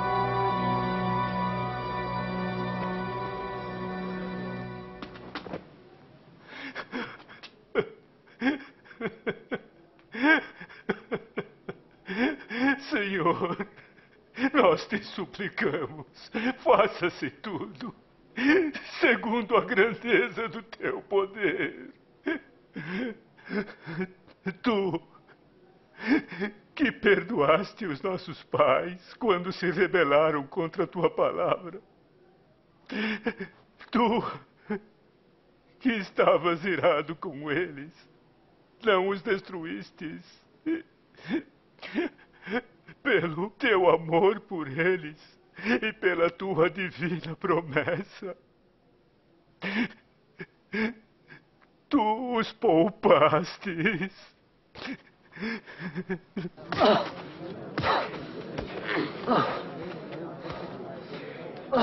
Adivinhe quem te bateu. E adivinhe só, quem será o próximo?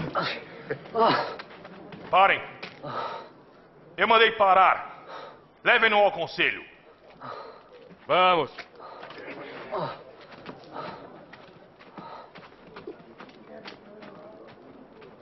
O conselho de líderes religiosos se reuniu para interrogar Jesus.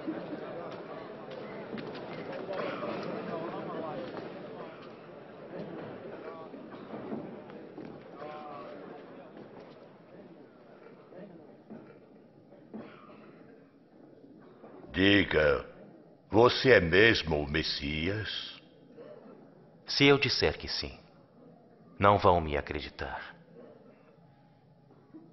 E se eu fizer uma pergunta, não vão me responder.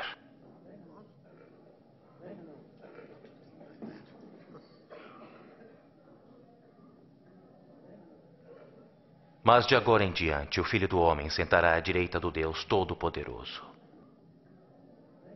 Então você é o Filho de Deus? Sim, eu sou. Quem dá autoridade para dizer isso? Culpado. Nós ouvimos as suas próprias palavras.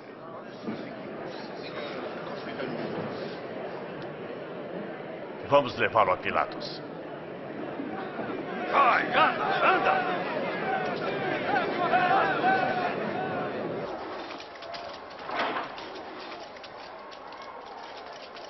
等等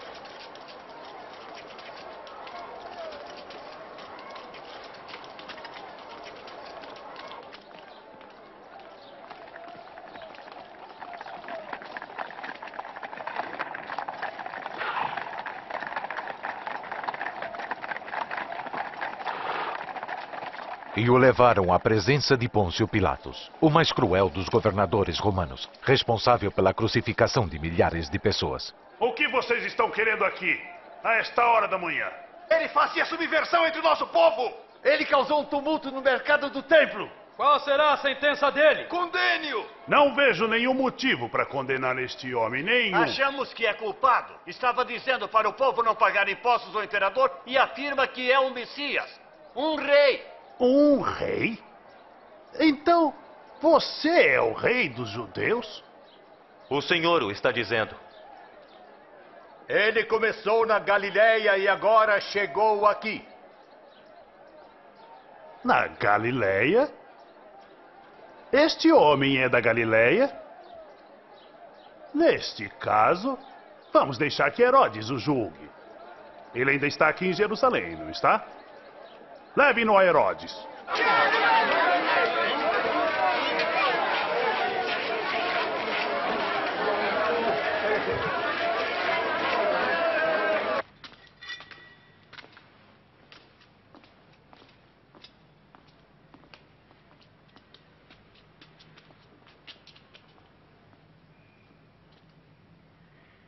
Quem você diz que é?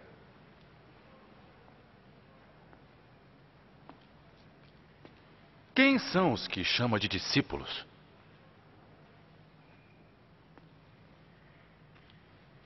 Muitos dizem que você faz milagres.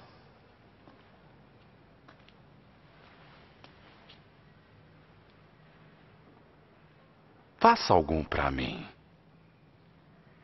Senhor, ele corrompeu toda esta gente. Ele intitula a si mesmo de rei.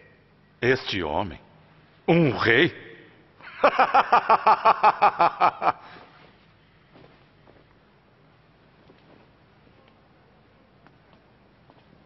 Majestade, castiguem-no.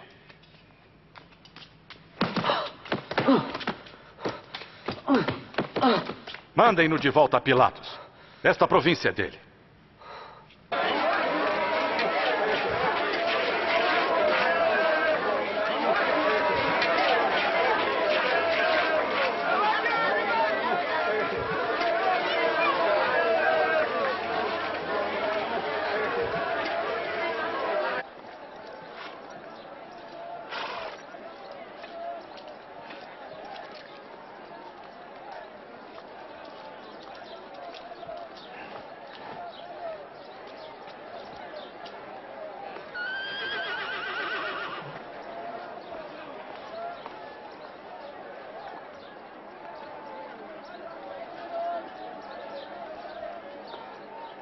Este homem nada fez para merecer a morte.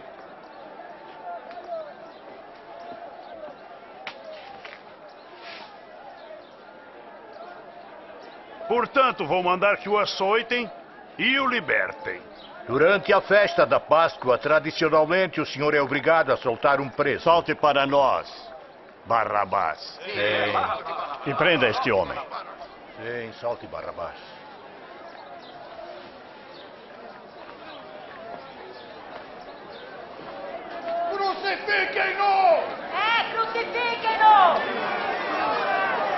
Você, você, açoitem-no.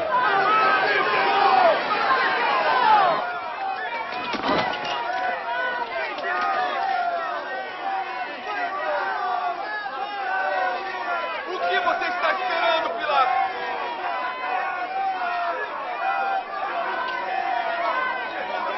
Ele é Jesus! Por que vocês o atormentam?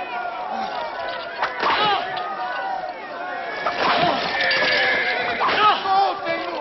Ele é o Messias! Ele não fez nada!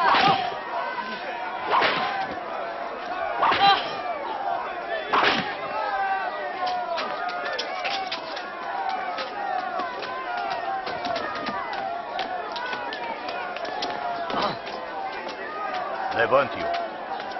Mas continuaram a gritar bem alto para que Jesus fosse crucificado. Então Pilatos condenou Jesus à morte. Soltou Barrabás, o homem que queriam, o que havia sido preso por tumulto e assassinato, e entregou Jesus para ser crucificado.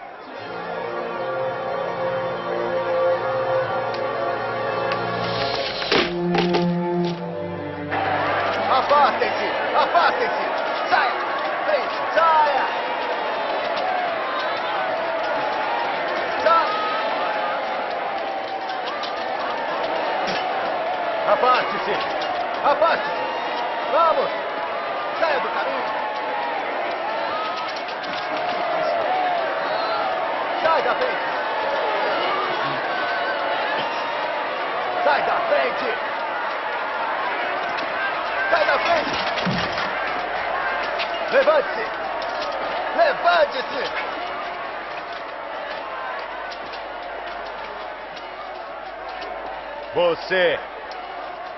Qual o seu nome? Simão de Sirene, senhor. Venha ajudá-lo. Corte as cordas!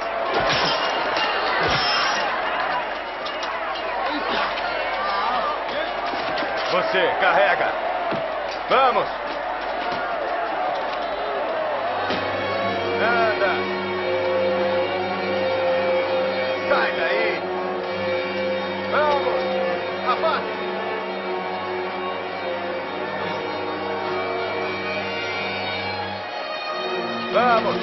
Alexi.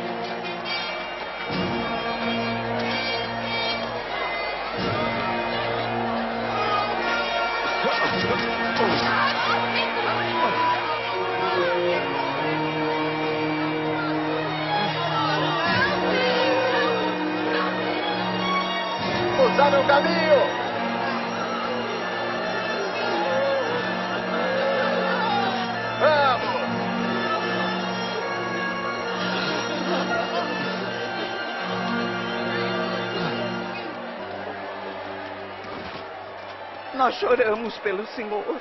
Beba isto. Beba. Beba, senhor.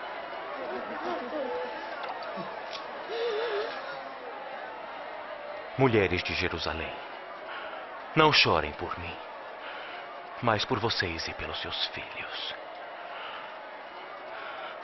Porque se isto tudo é feito quando a lenha está verde, o que será quando estiver seca? Que Deus o ajude. Eu vou orar pelo senhor.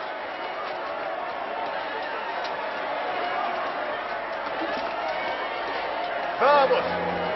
Vamos, por aqui! Vamos! Vamos! Vamos! Depressa, vamos! Depressa! Vamos! Vai, depressa! Por aqui! Rápido! Agora você! Vamos!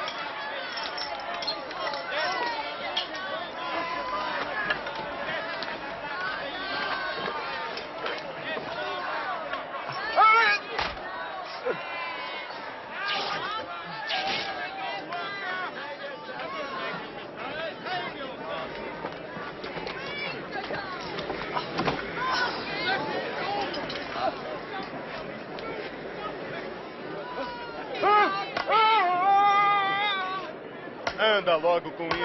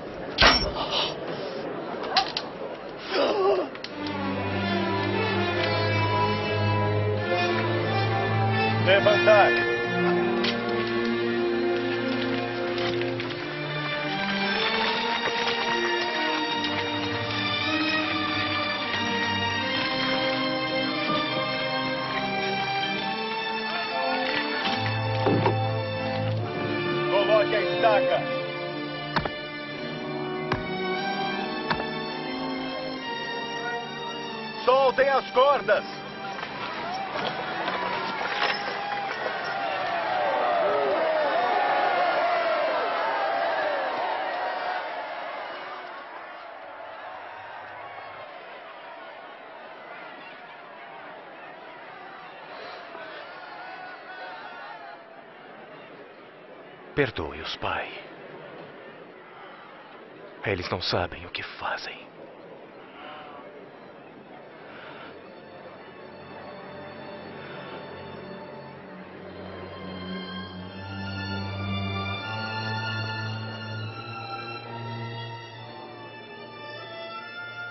Ele salvou os outros. Que salve a si mesmo.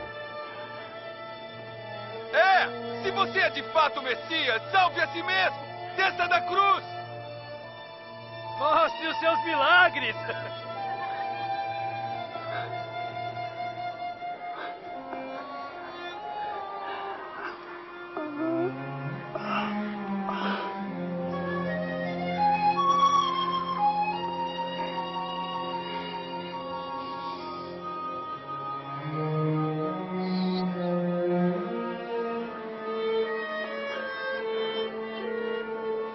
E Jesus foi crucificado entre dois ladrões, cumprindo assim a profecia que os profetas de Deus fizeram há centenas de anos. Estas com certeza não são vestes comuns.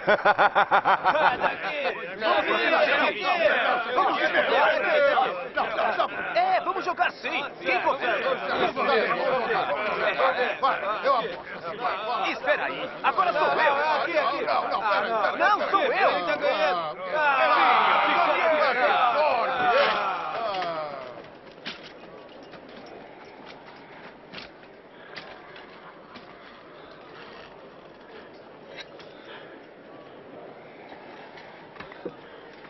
E uma placa foi colocada acima dele que dizia: Este é o Rei dos Judeus.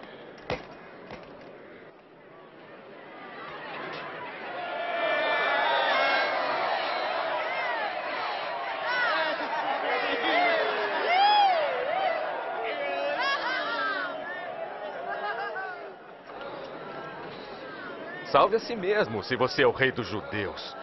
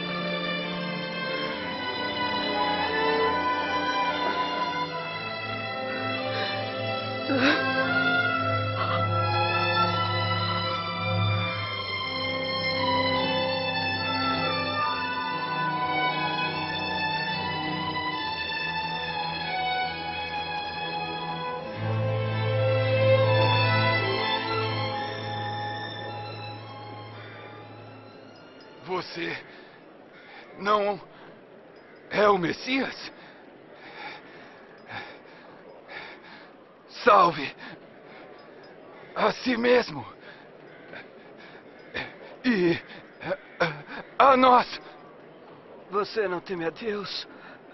Nosso sofrimento é justo. Mas ele. Ele não fez nada de mal.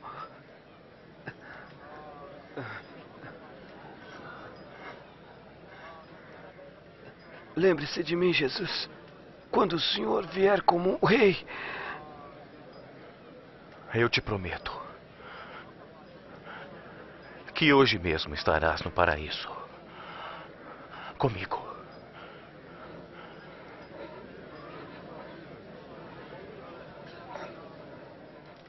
Mais ou menos ao meio-dia, o sol parou de brilhar e a escuridão cobriu toda a terra até as três horas da tarde.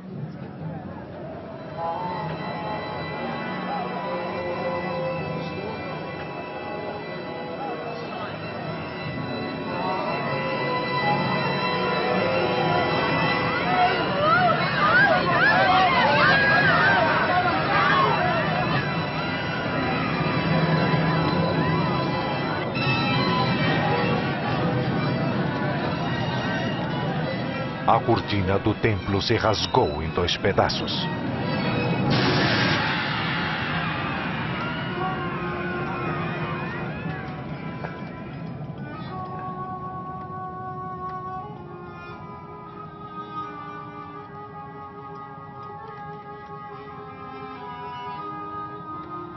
Pai.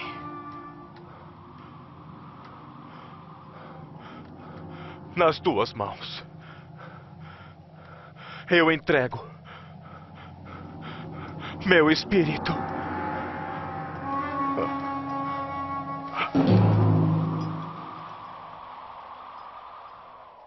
Quando o oficial romano viu o que havia acontecido, louvou a Deus, dizendo: Louvado seja Deus. De fato, este homem é inocente.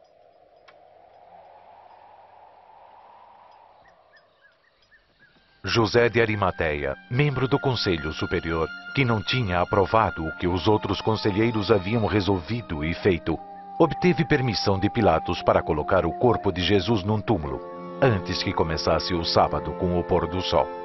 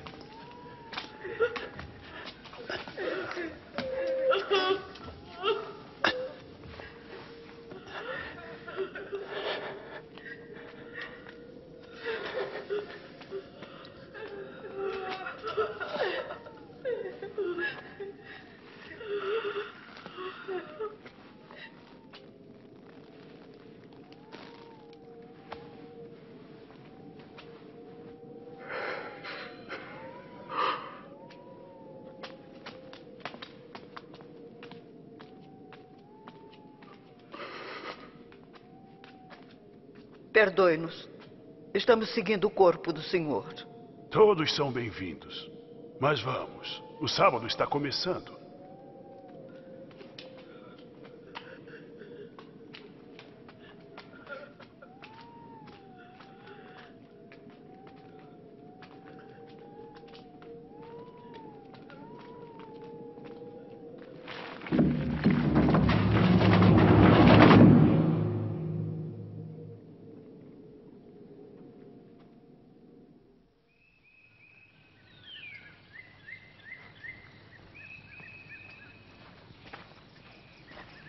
No domingo, bem cedo, as mulheres foram ao túmulo levando os perfumes que haviam preparado.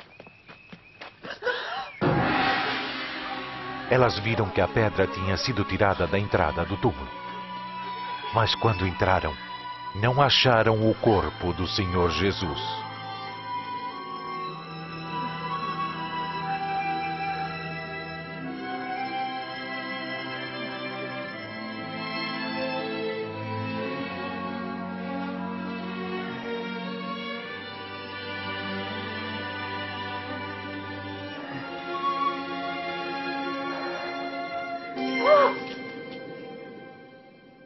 Por que procuram entre os mortos quem está vivo? Ele não está aqui, ele ressuscitou. Lembrem-se do que ele disse a vocês quando estava na Galileia. O filho do homem precisa ser entregue aos pecadores, ser crucificado e ressuscitado ao terceiro dia.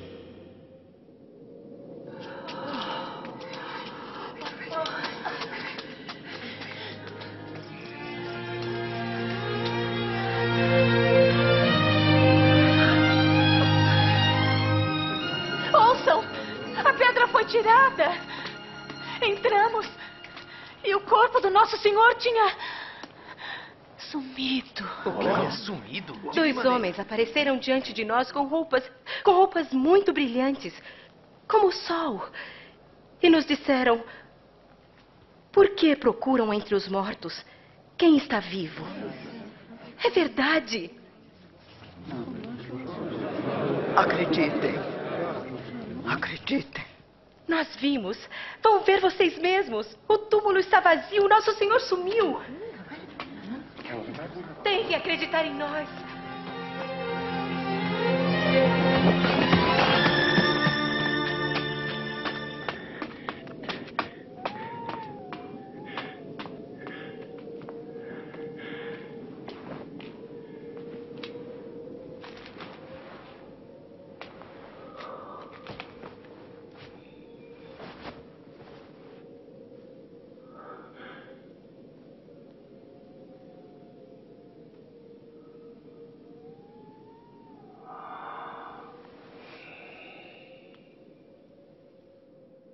Jesus apareceu a dois dos discípulos, que logo voltaram aos outros.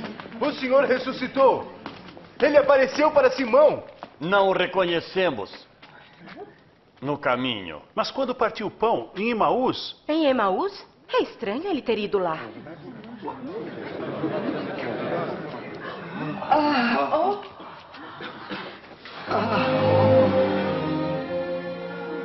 A paz esteja com vocês.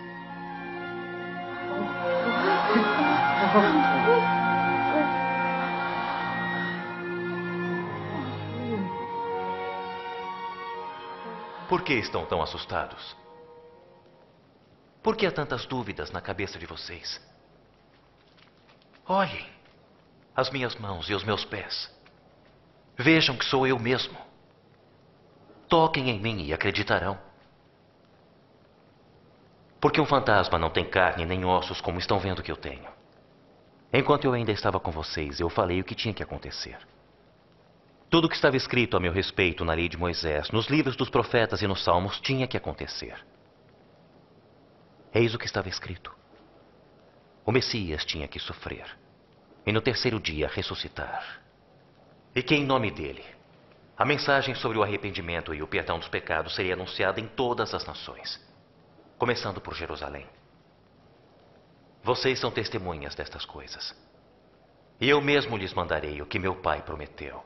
Mas esperem na cidade, até que o poder de cima venha sobre vocês.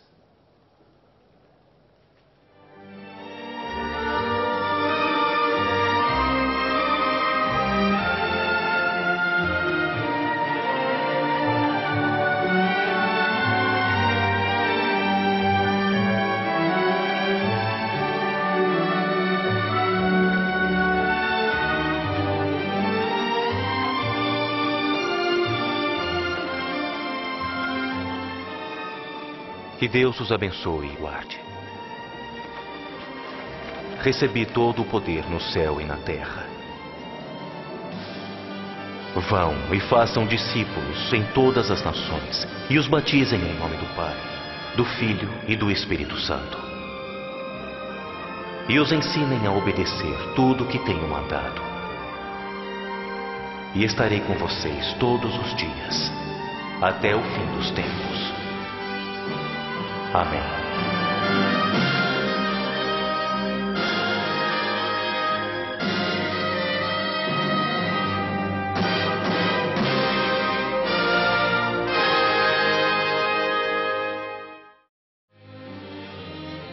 O túmulo no qual o corpo de Jesus foi colocado está vazio.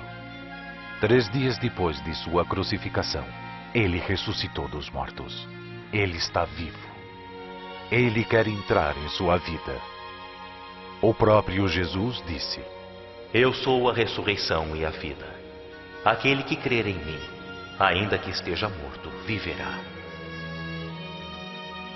Quase dois mil anos se passaram desde que Jesus ressuscitou dos mortos. E ele vive ainda hoje como a maior e mais poderosa influência do mundo. Estadistas orgulhosos dos séculos passados nasceram e morreram. Governantes, doutores, cientistas, filósofos e teólogos nasceram e morreram. Mas Jesus vive ainda hoje. Toda a sua existência foi sem igual. Seu nascimento foi sem igual. A Bíblia nos ensina que ele nasceu de Maria, uma virgem. Sua vida foi sem igual. Foi caracterizada pelo sobrenatural. Ele viveu toda uma vida sem pecado e fez milagres maiores do que qualquer um que já viveu. Sua mensagem foi sem igual. Ele oferece amor, perdão e um novo modo de viver àqueles que o recebem como Salvador e Senhor. Onde sua mensagem chegou, surgiu nova vida, nova esperança e novo propósito para viver. Sua morte na cruz foi sem igual. Há dois mil anos o Deus do universo enviou o seu Filho único, Jesus Cristo, para ser sacrificado pelos pecados de todos os homens. Ele morreu por você. Sua ressurreição foi sem igual. Três dias após a sua morte, ocorreu o mais assombroso acontecimento da história. Jesus ressuscitou dos mortos.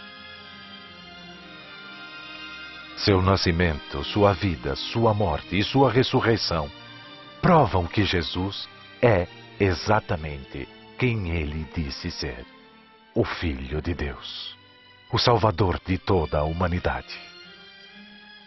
Este mesmo Jesus Cristo está vivo hoje. Ele quer entrar na sua vida, perdoar os seus pecados e dar a você o poder de ter uma vida abundante. Ouça as suas palavras. Venham a mim todos os que estão cansados e oprimidos, e eu os aliviarei. Eu sou o caminho, a verdade e a vida. Ninguém vem ao Pai senão por mim. A Bíblia diz: Todos pecaram e separados estão da glória de Deus. E diz também: O salário do pecado é a morte. Mas o dom gratuito de Deus é a vida eterna, através de Jesus Cristo, nosso Senhor. Quando Jesus morreu, ele sofreu o castigo por nossos pecados. Neste instante, ele está pronto para entrar em sua vida. Eis que estou à porta e bato. Se alguém ouvir a minha voz e abrir a porta, eu entrarei em seu coração. Para ter o seu amor e perdão e receber a vida eterna, você deve recebê-lo como sacrifício de Deus pelos seus pecados e convidá-lo a entrar em seu coração pela fé. Se este for o seu desejo, você pode fazer uma oração com fé e Jesus Cristo entrará em sua vida. Quero sugerir uma oração.